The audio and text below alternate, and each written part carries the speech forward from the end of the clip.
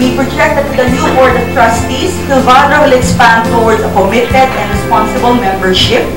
It will take the opportunity to embark on the road of promoting copyright as a means of achieving common good for our communities. Maraming salamat po.